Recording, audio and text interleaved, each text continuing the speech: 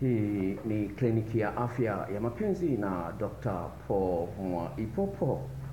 Msikilizaji, anakuletea mada inayosema mwanamke kuwa romantiki kwa kufanya haya. Mwanamke kuwa romantiki kwa kufanya haya.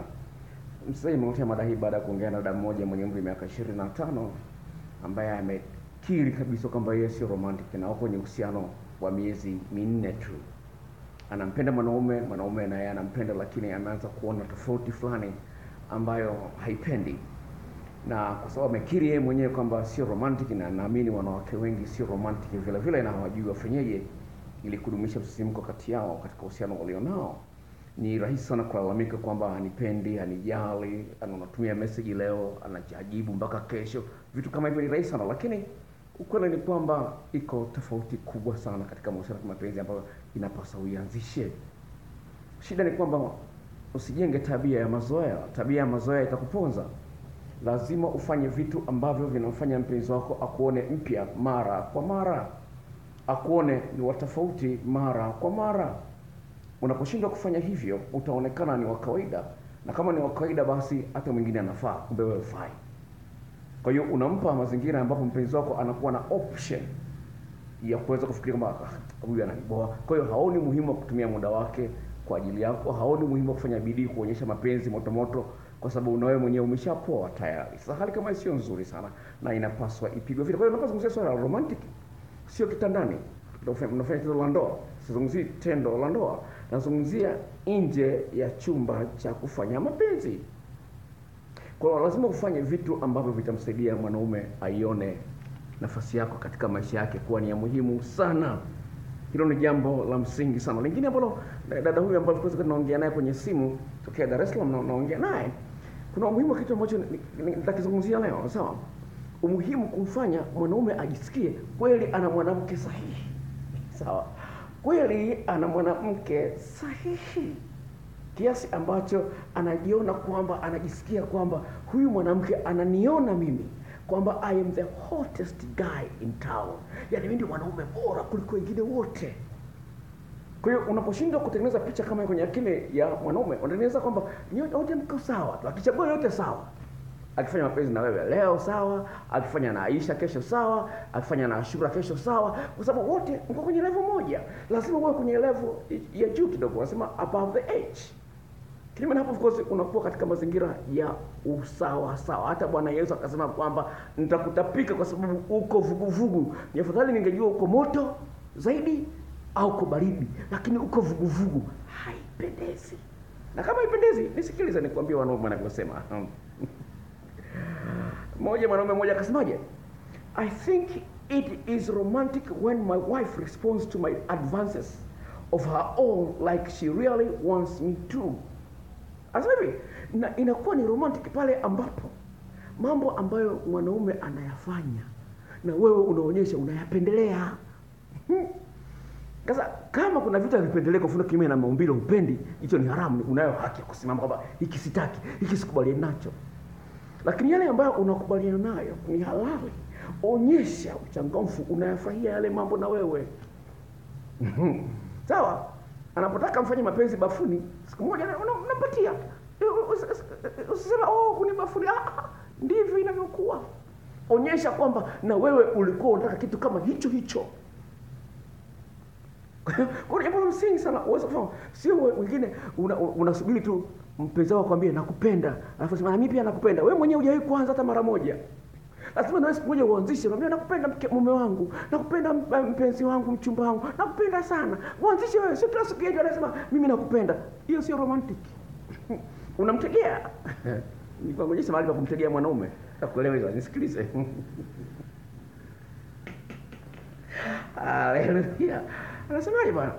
Anasema kaka mwingine anasema hivi, greet him by snuggling into his chest for a moment, lean against him when you sit down together, play with hands for no reason. Sasa hivi, unapokuwa unamsalimia awe ni mchumba au ni mume wako ametoka kazini au ndio anaenda kazini, sawa, jitahidi unamkumbatia, alafu unacheza cheza kichwa chako pale kwenye kifua chake, una kama vile mbuzi. Ushaona mbuzi eh? fanya unaweza kwenye kifua chake unaonyesha kama nakupenda, lakini wewe sijui umenipa nini. Unaona vitu kama hivi ni vitu ambavyo unavifanya vinatengeneza utofauti. Akasemaje? Asema hivi eh, eh, ni kitu ambacho sema mnapokuwa mmekaa pamoja, jitahidi mkono wako papase kidogo mapumbu kidogo kule, papasa miguu yake, kama unataka unataka kutiwa, ah ah, basi kuonyesha kwamba unamfurahia kama yeye kama mwanaume. Basi asemaje? Asema asema play with hands for no reason, unataka kuchezea mikono yake hamna sababu yote kama hamhitaji tendo la ndoa, lakini ni vitu unavyofanya kuonyesha kuna connection, mshikamano kati yenu nyinyi wawili.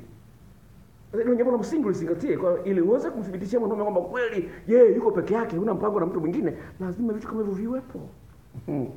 Kwenye simu, mara ngapi umembusu mpenzi wako kwenye simu? Sio ile ya mwa ah ah ah, ah, ah, busu kabisa. I love you baby. Ushambusu mpenzi wako kwenye simu?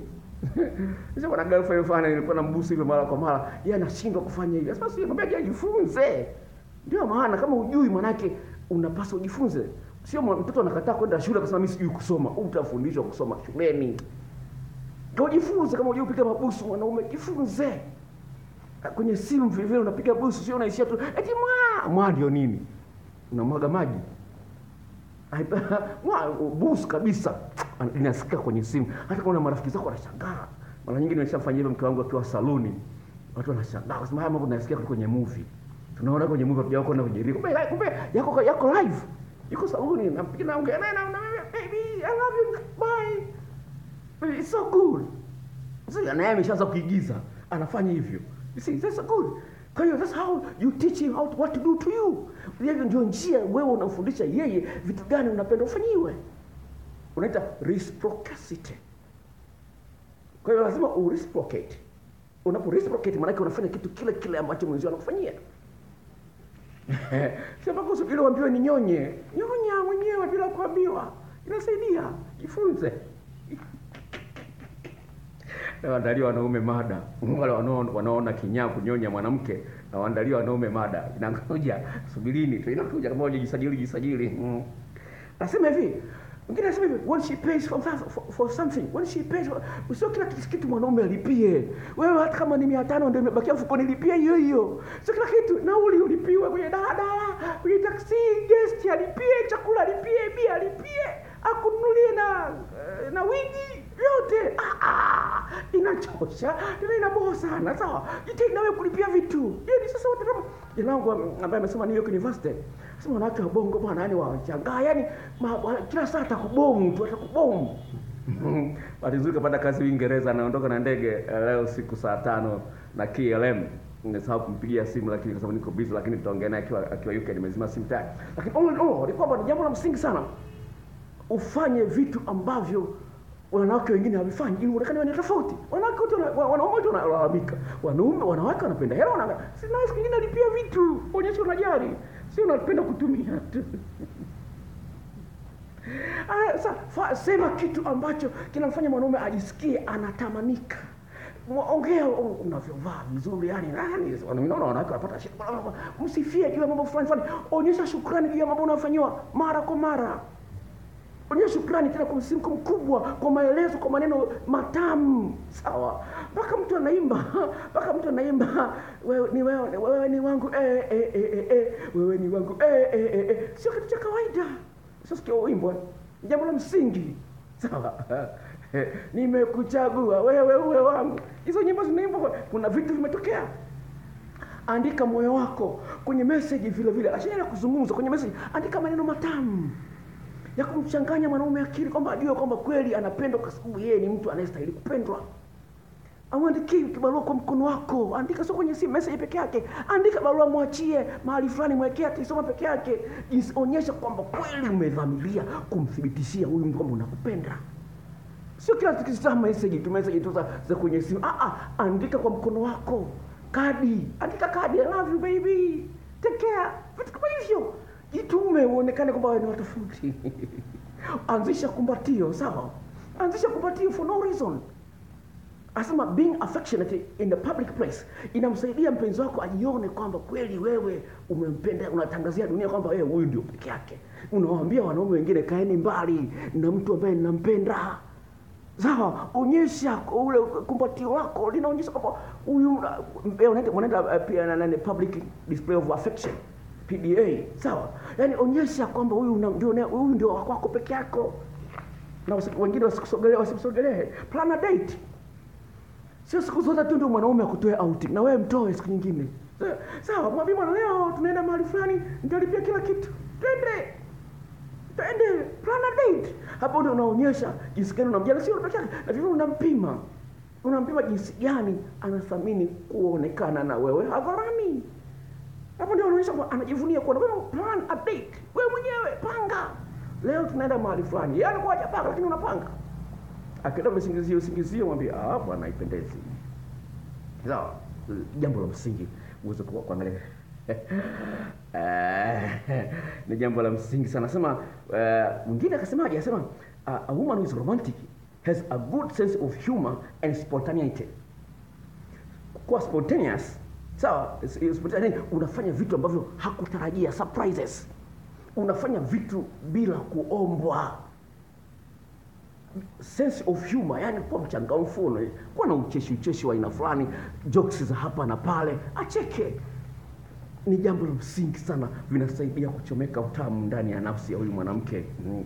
willing to, to try new things. Kuwa, na, na utayari wa kujaribisha mambo mapya tofauti na yale aliyoyazoea anza kutafuta vitu vipya, uta- utaboa. Usiona muda mrefu utaboa mpenzi wako. Anza kutafuta vitu tofauti tofauti ya kumfanyia mwenzio. Try new things. Jaribisha vitu vipya vipya. Ili uonekane na wewe ni mpya, sio wa zamani. Hilo jambo la msingi sana. Okay. Kwa hiyo ni jambo la msingi mtazamaji, uweze kuangalia mambo gani ambayo atachochea mapenzi, atachochea mapenzi kwa kiwango kikubwa kati yako na mpenzi wako. Sasa eneo la tendo la ndoa nimeshalizungumzia sana. Fahamu mwanaume na maeneo kumi na mawili ambayo yana miisho mingi ya mishipa fahamu, uweze kufahamu jinsi ya kuyashughulikia. Hizo ni video clips ambazo unaweza kutumia kwenye Gmail na kwa njia ya, na kwa njia ambayo hiyo ambayo kwa ya mtandaoni itakusaidia sana, njia rahisi sana na haina gharama kubwa. Kwa hiyo gharama yake ni shilingi elfu kumi na video nyingi kidogo kama nane tofauti tofauti, mada tofauti tofauti, itakusaidia. Na mwanaume vile vile ana, ana video zake vile vile. Kwa hiyo kama hujajisajili, jisajili, na namba zangu za simu ni hizi zifuatazo. Kama unataka ushauri kwa njia ya simu shilingi elfu tano. Kama unakuja ofisini shilingi elfu kumi. Namba ni hii ifuatayo: sifuri saba tano nne sifuri tatu tisini na tisa tisini na nne sifuri saba tano nne sifuri tatu tisini na tisa tisini na nne nitakuandikia hapo chini mtazamaji ili uendelee kuwa karibu na mimi sawa wale ambao wanaangalia video hii kwa mara ya kwanza tafadhali jisajili kuna kibox chekundu pale kimeandikwa subscribe kwa maandishi meupe. Bofya pale utapata ujumbe wa video mpya nitakuwa nimeiweka hivi karibuni ambayo inakuja iko tayari kwenye pipeline. God bless you and bye